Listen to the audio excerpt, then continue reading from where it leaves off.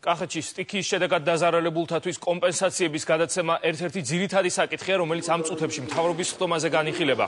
დაზარალებულთა სიები დღეს ბანკ ქართულს გადაეცემა და დღეიდან დაიწყება მათ სახელზე პირადი ანგარიშების გახსნა, სადაც საკომპენსაციო თანხები უნდა გადაირიცხოს. როგორ და რა ვადებში დარიგდება კომპენსაციები, ამის შესახებ რეგიონული განვითარების მინისტრმა ისაუბრა. ნინო სამყურაშვილი გვერდება მთავრობის კანცელარიიდან.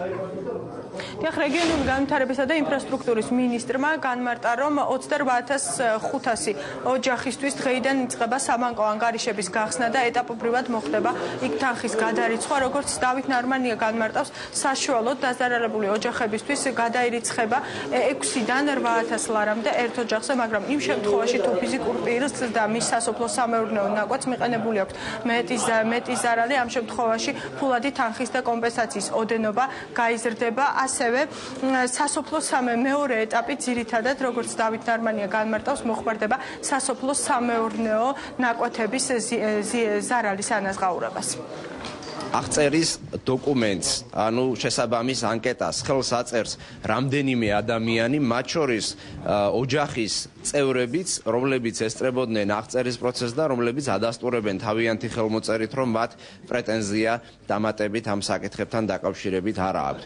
აქედან გამომდინარე, ვფიქრობ, რომ მოსახლეობის მხრიდან გულისწყრომba არ უნდა იყოს მიმდინარეობს საბანკო ანგარიშების გახსნა 28500-ვე დაზარალებულ ოჯახზე და შესაბამისად ანგარიშების გახსნის დასრულების შემდეგ ეტაპობრივად დაიწყება კომპენსაციების დარიგება.